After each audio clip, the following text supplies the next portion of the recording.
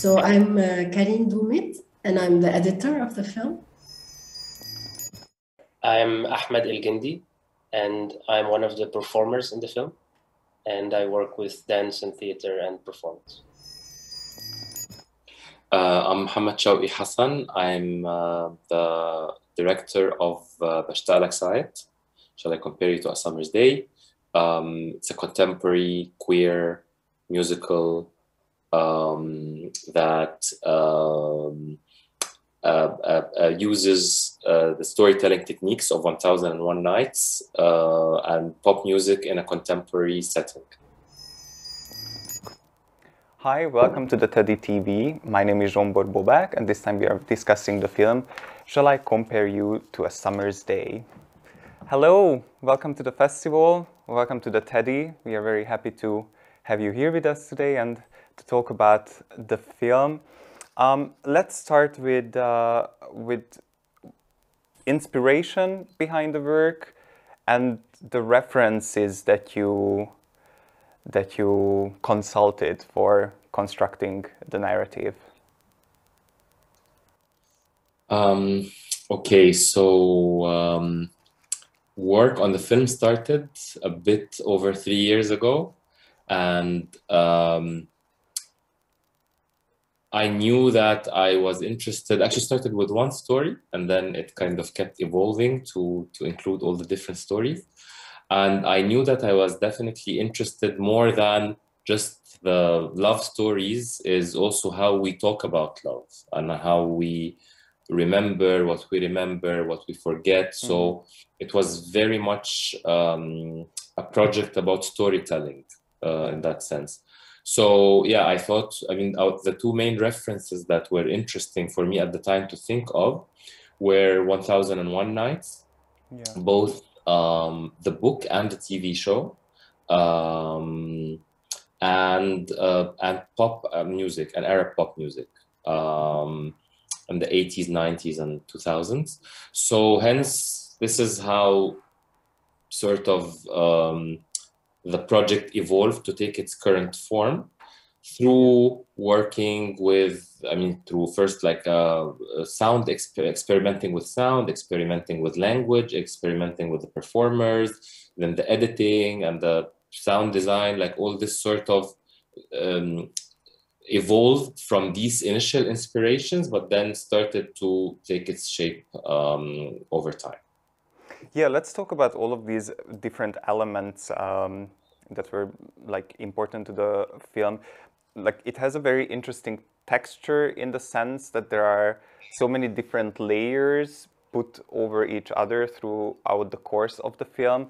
Um, can you talk a bit about how you constructed this very rich texture of the film and um, how you organized the narrative in this very particular frame in which it takes place?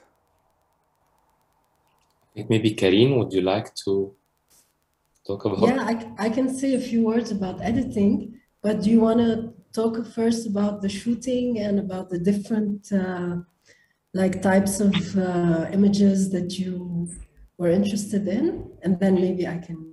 Sure, sure. Yeah, so, um, I mean, we have uh, in the film uh, it's constructed around or as a structure of a of a, of a tale of a thousand and one nights tale.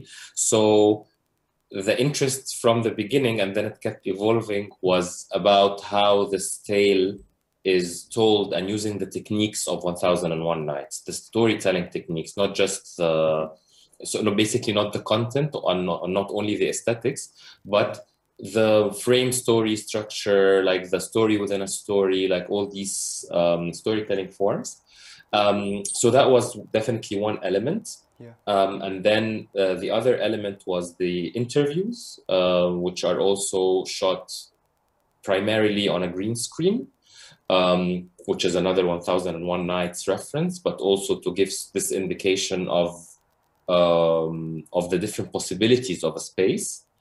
And then uh, there were the staged scenes. Um, and finally came along the animation and the sketches, which also is something that, on the one hand, uh, clearly a reference to 1001 Nights the show because it would always start with animation, then go into um, how do you call it like uh, live action, Live action. and then you go back to animation and so on and so forth. And um, it helped us also keep and sustain this fantasy fairy tale feeling throughout. Mhm. So I would I would think about these as the different elements, unless Karina, you think I uh, I missed something. And no, and I was just going to add that, uh, like building these different elements together, it's uh, I think it's uh, it's work that happens like at the same time in a in a horizontal way and in a vertical way. I would say because you have to construct characters and then you have to construct one storyline which is like held by the narrator, and also you have to construct the storyline uh, with the music and and it and it feels like it's uh, it's uh, we had like four editing phases i would say. We didn't have one one uh, continuous editing. And so each time it was um, at first it might have been like okay what do we want to keep? Because we had so much elements. And it was about that. What are we, what what is really important? What is really essential? And and then we started building up the characters the narration. And i think the the final stages were maybe about uh, how do we say sculpting sculpting like like maybe removing maybe maybe taking a few things and and seeing how things uh, how to say it in english um, like maybe transcend or i don't know um, so it was a very complex um, uh, process to reach this. Um, and, uh, and to me, I think that uh, it was very important for us to have a very um, rich storytelling, but at the same time to have something about it that will remain uh, simple in a way and not, uh, not um, over, you know, like um, uh, like over um, I forgot the word in English now. Like it's Reflective, still, maybe, or, or Sorry, yeah, Over like reflexive? like to, yes, to keep something light about it, to keep Yeah. something also playful about it. So it was always this uh, this balance that we had to keep between the richness and like the playfulness and the and the seriousness and the lightness and there was something like uh, yeah i think this was what the editing was about for this film. Yeah, that's very interesting. It seems like that mm. a lot came through the process of editing and not the other way around that you had like a very clear strict concept and then the editing had to serve that but kind of the other way around in a way. Yeah that, that, that's very interesting. Let's talk about the soundscape of the film which is similarly to what we have just discussed. It's like very layered very rich very different elements um, come into play throughout the film. And what was also um, intriguing is that the sound, the, this relationship of sound and image within uh, within the film. Can you elaborate a bit on on that process? Um, I, I would just start by saying something about the sound, and Carine, if you'd like to uh, to elaborate on it further. Actually, like we worked quite unconventionally when this, with this project uh, in um, the process itself about image and sound. Uh, so actually, usually the sound designer comes at the very end after like we, we've done most of the, the editing and then the sound is constructed. In this project, actually the sound designer was the very first person to come on board. Like this was three and a half years ago. Uh, her name is Kinda Hassan. Um, she's a Lebanese uh, um, sound artist uh, uh, living in Paris. And we basically, I think we started the experimentation in 2019 uh, in a way that created eventually the sonic style for the film. Like this kind of overlayering, I would I went to uh, uh, to Kinda uh, to Paris for a couple of weeks.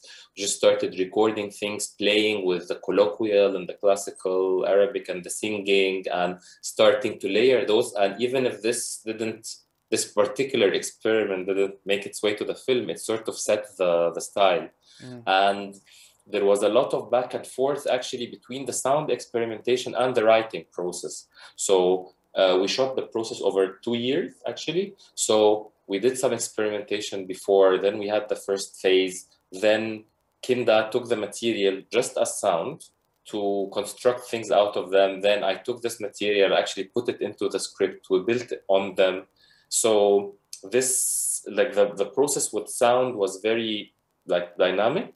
Yeah. And when we started the editing, it was the same. Like we worked actually as kind of a trio. Me, Kinda, and and Carine. We were involved. Like Carine was involved in the sound, and Kinda was involved in the image. And uh, yeah. it was it was a very uh, um, how do you say like a kind of a ping pong like process. Like it it wasn't that uh, sometimes uh, we would actually um, edits things in a specific way to fit an idea that yeah. that Kinda has for the sound, etc. Mm. Um, and then also like just to yeah, since we're on it, there was also uh, a couple of uh, musicians that uh, also contributed significantly to this. Mm-hmm. So uh, Khayyam uh, Lemi, uh, he was. Um, he's an he, he, he's also he's he's um, he's a musician who um, is living in Berlin at the moment. He's Iraqi and he's living in Berlin, and he um, led the choir um, for. He was the the how the yeah, the maestro for the choir kind of yeah mm-hmm. the choir director yeah um, and uh, and then uh, like so we recorded this also before the second shooting and integrated it into the film and used it significantly. So this was a very important layer. Yeah. And then finally came uh, Amin Faizabadi, who did the original music composition. Um, and through this, we tried to kind of like it's um, mainly harp and like a little clarinet piece at the end, and the elements of it were constructed in a way to be an, a, an additional layer that keeps bringing us back to the world of 1001 Nights, to the fairy tale world. So you have a lot of this. Also, even within this process, there was a lot of back and forth with yeah. Amin and Kinda and Carine. Like, you know, uh, Kinda did some electroacoustic compositions, and then uh, Amin would construct something, and then maybe like one of them would say, actually, you know maybe the other thing is working better here i will mm-hmm. take this off and it, it was a lot of uh, also uh, dialogue um, when it came to the sound yeah yeah all right and would you like anything to add to to that part to to sound any insights on that Carine, do you? Uh, no, I, I just want to say that it's the first time for me to work this way. Uh-huh. And I always wanted to do it like this, you know, like I always wanted to have the sound person, uh, editor be a partner for me and someone that I can dialogue with and not just, you know, hand in the film and, and have someone take over. And, and I personally think that we really succeeded at doing that like on a personal like not as a result like uh, us between each other i think we like uh, we really figured out how to make this a very enjoyable and very i don't know kind of um, kind of a very rewarding process yeah. And i would really like to try to work uh, again this way uh-huh. because it affect it like it changes a lot how i how i work and yeah. it's uh, it, it, it it brings a lot to to my process yeah lovely let's talk mm-hmm. about performance and the performative elements of of the of the work um, there are many voices coming into into this narrative there are quite many performers um, i was wondering uh, how did you find um, the performers for the piece? How was it to work with them? To what extent were the performances based on um, on on pre-scripted uh, words? How much was it improvisation? How was getting into the the the storylines and into these different narrative elements of the film for for the performers so in general about about the performative part of this piece uh, I will just only start by saying that uh, I'll answer the question about uh, how do yeah. how do they come together. Yeah. And the Zero can talk a bit more about the performance, Ahmed. Uh, and um, I didn't do casting for the main characters, uh, so I actually approached directly um, okay.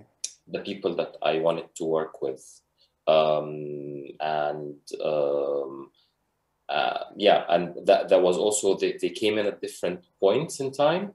Uh, like Ahmad and Salim came at, at, the at the very beginning, and then uh, uh, Nadim came in um, a little later. Hassan like started was with us in the first year, and then the, the I wanted to expand the the um, the space for the for the character with Ahmad uh, with Awadallah. It was also um, like interestingly enough, like he was the first one that we did, like I did a, this interview experiment with, to just also as a way to set the style for it.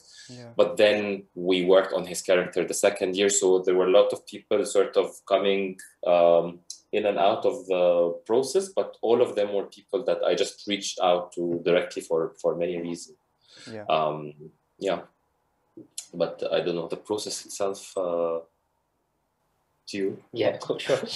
yeah, so for me, something that was very like also attractive about this project is that there's a lot of voices, and when you say when I meant voices, also not that only there are different stories that are all intertwining and uh, kind of feeding back information and narratives to each other, but also that the um, the whole crew and cast and people who are singing and editing, like we're all kind of working together, which also makes more sense with the idea of that this is about different love stories or different lovers' narratives or different uh, perspective of what um, our experience of the fantasy of love or the relationships are. So I think the more these voice, like I think there's still, of course, the solid um, line that you can follow. But it's for me, it's very nice that this is always like keeps confusing itself and coming back to mm. to the beginning and the end, and like so that was already clear from the beginning, even if the narrative was not yet figured out fully.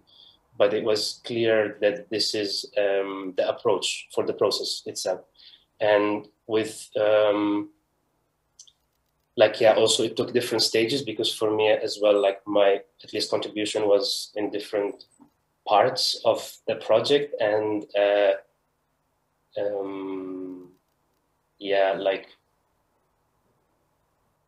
it, like improvisation or not is is always present because I also me and other people working on the film are more experienced with dance and performance and stage mm-hmm.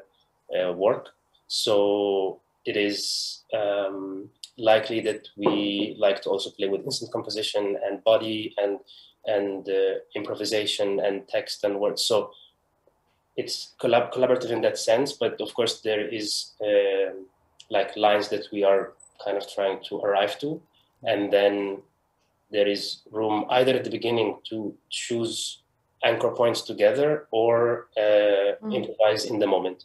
And the same goes for the singing the same goes for uh, yeah many things. So i felt yeah it's i don't know if i'm answering the question fully but it's it's uh, it's um, yeah a mix of a mix of uh, input. So the plurality makes yeah. sense and also the uh, yeah. Yeah right. The i mean at, at the end of the day at the center of this film is love and relationships and um, what we what, what is a relationship in general and and how um, how these emotions around around love and and connecting with other people um, change and transform and get stronger and get weaker over over time um, but this is a very particularly queer take on on this subject. Can you um, can you explain a bit about your your approach to to depicting queer love and and queer relationships? Hmm. Um,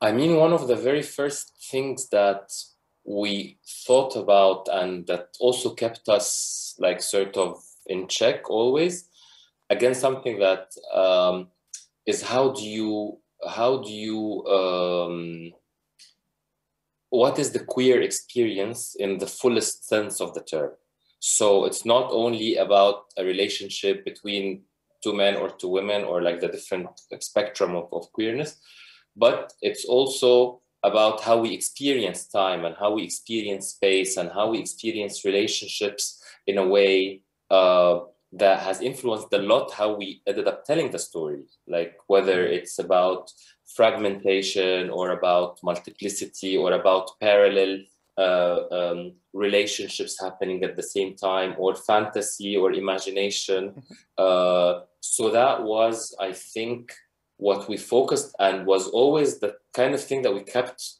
talking about like in the process over and over and um, and i must say also that the performance uh, the performers gave us really really great material for the editing because they like as as ahmad was saying that sometimes you have maybe you know that we're asking this question or you know that we want to arrive at certain things or maybe we know that there's a few parts that kind of cues that we need somehow.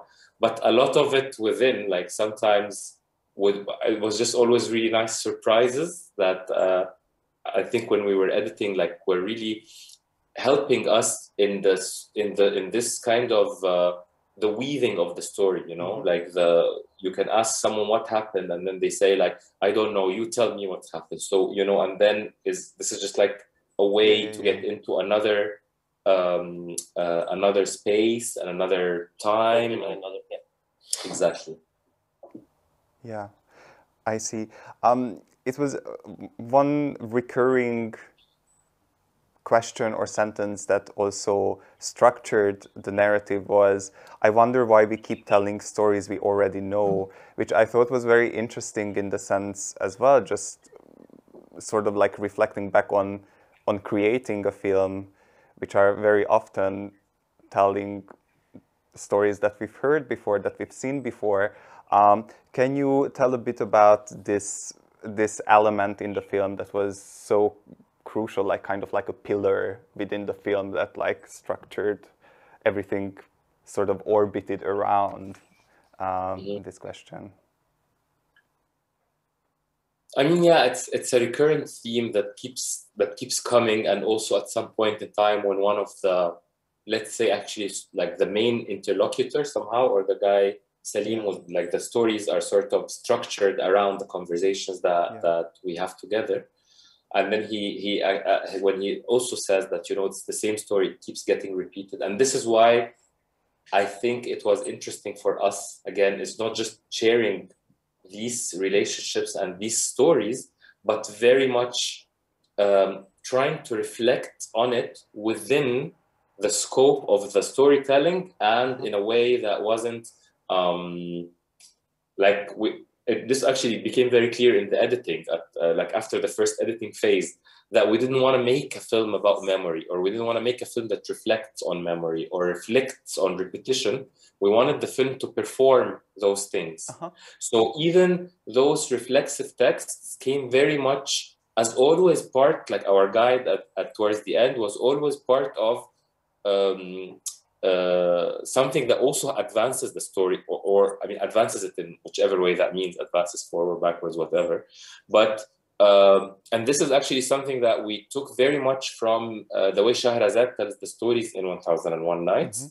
Mm-hmm. Um, that if you actually go and look at the texts um, of, of 1001 Nights, it's a lot of uh, like action verbs. It's a lot, you know, this happened and this person did this and this person did that. Mm-hmm. And so we kept the reflection always within in the film, you'll always find it within something that's also doing something else. Like it's yeah. it's we never had a text that says a full text about uh, about stories that keep repeating themselves or about this. But as as you're saying, exactly keeps coming just sort of casually within narratives that are already taking place. Um, so yeah, I yeah. that's that, that's how I think of it. Yeah, you touched upon multiple times the the the temporal aspect of the film and this very special temporality that the that the film creates, um, which uh, for me worked on two different levels as well. I mean, on the one hand, of course, it's time doesn't flow in this um, progressive linear line uh, within the narrative as like in a, in a normative sense it would. Um, and then based on that, how these different elements and the different reference points that you use come into the story, it also created a bit of a an archival sense for for the film. Um, can you talk about these different temporal elements a bit more in depth? Because I thought that was very very exciting about about the project, how that gets challenged and and reconfigured throughout the project. Carine, would you like to, or should I? Yeah, uh, yeah. I think I think the thing is that um, we all wanted we wanted things to be multiple. I think this is what what was like our goal. You know, like like like it's like about we're talking in the present, but it's not about the present. But at the same time, we have to have this interaction with what has is being said and not just like reminiscence it's and i think it's like Shawky said it's about doing a film about the in action and not about uh, like the kind of meta of, or reflecting about it. So we, we really wanted the whole form to we wanted to be organic you know? We didn't want it to be something a bit uh, like a theory of that. So we tried lots of, so I don't know, you can find, for example, um, uh, uh, for example, with the Selim character, which is the person we are telling, supposedly, we supposedly, the narrator met him and he spent the night with him and then he, and he's telling him all these stories. So this is, was something that wasn't like this was something that we invented in the editing it wasn't like this is not how it was supposed to be yeah. and but but then we we used this character and he kept coming and he gave us like a sense at the same time a sense of uh, uh, like like stability or like okay something is repeating so okay we're okay we're still following. But at the same time he would also be the person who's like you never told me that. So you so so there was there there's always we always wanted this mixture between like something that's um, not confusing but like like the, the stories are ongoing. It is the same story. Each character has a, an arc. But also we we wanted to to deconstruct that a little bit yeah. you know? We we didn't want to be like okay so did he go out with this one before this one or after this one? Or we we, we didn't want to get into this. We we just wanted it to be like uh, something a friend of ours said about the film that was really nice. It's like it's about the lover in general. Yeah. and in in arabic music there's a lot we use this term a lot you know we say habibi but it means it sometimes it means the lover you know it doesn't specifically mean it means like the figure of the lover. Yeah. The the, the something more it's more um, you know like yeah, it's like the archetype of the, uh, archetype the, yeah, yeah, yeah. yeah. So we were always trying to balance between this between the the details of one story but at the same time this story represents something bigger. Hmm. and i think i think the only way one of the ways to do that in film is also related to time. Yeah. You know is also because is also how to how do you how do you work time? How do you choose not to have it uh, you know like not to be bound with one chronology and how to um, disrupt it yeah. sometimes and yeah Um, yeah, and if I may add something also, I think that at the end, like many, many, many things in the film, um, we we wanted not to answer the questions about time, but let time itself be a question and Yeah. space at the same time. You know, it's not Yeah. like we, we, we this idea of unclarity and the the temporal, let's say, like even um, exactly a temporal ambiguity within the film. Because is it, did it all happen in one night, or then Yeah. you know, and then which lover is she is she talking about at the end? Like you know, it's. Uh, it it just like just like the space was always a question and the stories were a question and time itself became a question and at one point in time in the editing process we should sort of made this decision i mean it was also in, in during the performance but again in the editing that we don't want to answer these questions and that all of this is much more interesting for us if they just remain as questions in the film Uh-huh. Yeah. Yeah. But then it was interesting in that sense as well that this could take place today, but it could take place, I don't know, 50 years ago, or it could take place 20 years from now in the future.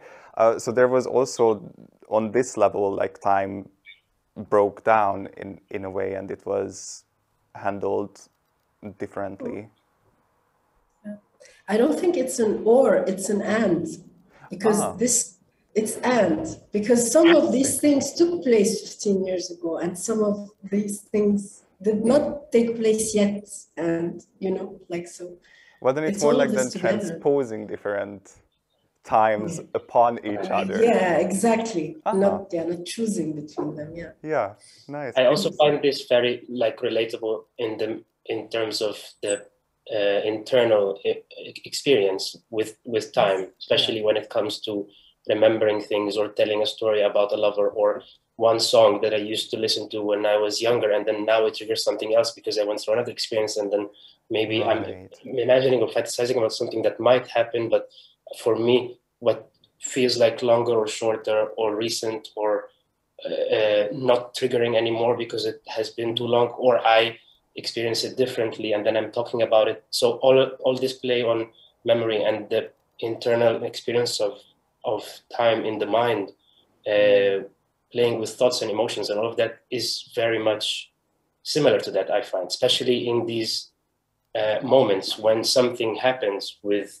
a lover or when something happens with uh, like there's this sudden like like some ruptures they they make time very loose. And and this is something that i experience and i i hear from many people and it makes even more sense than a chronological or or a clear time narrative. Yeah, super fascinating for sure. Um, it is a, it is a, in on some in some way it's it's a very male centered um, film that we see. The male body in particular is is very central to this piece. What was your approach to, yeah, to the filming and to the positioning of of the male body and and the portrayal of of yeah male towards male desire um, in the film. Um, I mean, okay, first of all, it's a personal film also. Yeah, So the it's in the I voice, right. which which um, which meant that the way that the the male body or the way that the even the the, the, the male presence overall in the film is coming, it's actually all based on the viewpoint of the narrator and Mhm. coming from the imagination and the the let's say the the, the um, aesthetic world also of the narrator. Um, and at the same time it's it was it, what i was interested in doing and i think also happened a lot more in the editing process was how these two worlds are con- are conflated or like are are um, uh, uh, overlayered this parallel world between the the desire, the imagination, the interest in the male body, and um, the female narrator, who is actually connecting and actually advancing the story forward and takes on different forms, uh, not just aesthetically, like in the Yeah. different costumes and different, but also like she's the storyteller, but also she's sometimes the confidant, she's sometimes the caretaker, sometimes she takes on the position of the narrator, like when she's singing, for example, with the voice of the I. Um, or when she comes after a hard moment, or when she's coming to bless a certain moment. Um, and that was sort of also in a way um,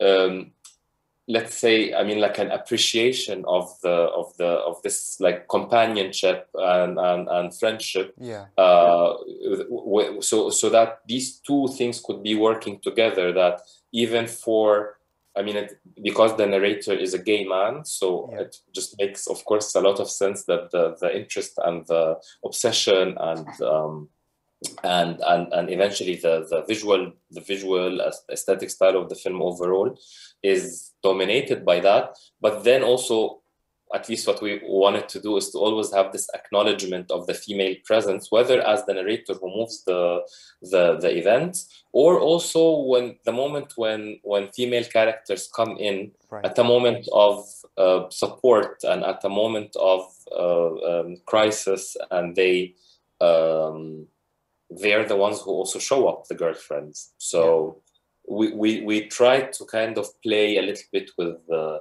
um, w- with these two sort of uh, uh, parallel uh, presences somehow. Yeah, in a like in a way, after finishing uh, the film, after watching it, um, and and once again, like this word sort of comes to mind. This this archival sense a bit to it. It it became like an archive of these different queer sensibilities. We talked about it that yeah, it it happened 50 years ago. It happens now. It will happen in in in 20 years. So that like somehow the film nicely encapsulates these these particularly queer struggles in love and and and relationships.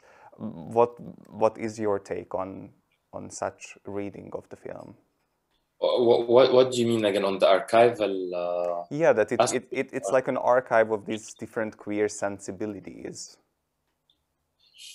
So I mean, I was uh, the the the, um, the archive and document was something that was always quite interesting for me. Yeah. Even though in this film in particular, uh, with very very few exceptions, we we we almost never used anything as it is somehow. So in that sense, I think what I would feel that we have in the film is actually more an archive of references more than an archive of a direct archive in that sense. And if if that's I don't know, I think maybe that's what you meant, you, Right. or in this direction, we mean the archive of sensibilities. That we're also creating our own archive.